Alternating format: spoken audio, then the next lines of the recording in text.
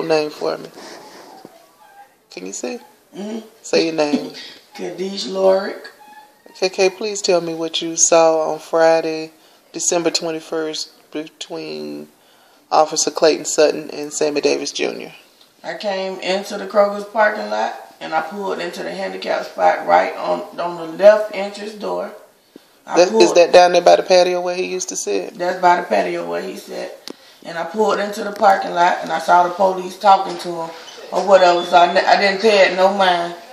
And um and um I heard you know a little talking or whatever. So I said, oh maybe they just they finna tell him to go home. But I kind of kept my eye on him in case they tried to take him to jail because I knew my mama knew him.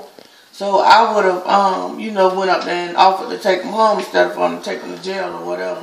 So I turned around. I didn't pay it no more attention. And um, I peeked back in the mirror again. I seen him with his hand up. and I seen him put his hand in his pocket and like step backwards. And I heard boom, boom, boom, three shots. And I went to crank the car to back out because I thought somebody was robbing Kroger or something. And I couldn't get out, so I got out the car. And that's when I seen Juma up going down and the police backing away from him with a gun. And I jumped on the phone and called my mama and told her to get in touch with his family because I knew that my mama knew his family. Did Jumbo cry or anything? What happened? He Did, didn't say, I didn't hear him say nothing. what did the police do? Did anybody from Kroger say anything? The manager at Kroger, a tall, skinny white man, he came out and said, all I asked y'all to do was ask him to leave. You didn't have to escalate to this, and he was crying. You didn't have to escalate this, you didn't have to escalate this. Don't you have a taser? You could have tased him.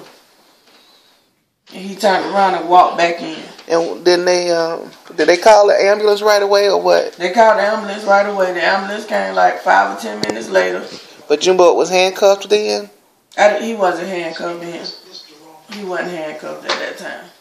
Okay. And they put him in the ambulance, and um, I was standing at the back of the car at that time, and I seen the uh, ambulance stick the head out the door and just shake his head.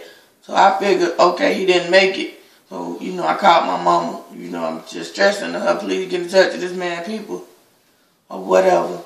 Because some people were saying he was homeless or whatever, and I told him he not homeless, and he got a family. And I said, you never know what loneliness will push you to. Mm-hmm. He didn't have to be up there asking for no change, no money, or nothing. That's, probably just something he chose to just do to get for attention and That stuff. was just his little.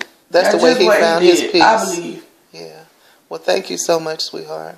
You're welcome. If you need anything else, just let me know. Thank you. Mm-hmm.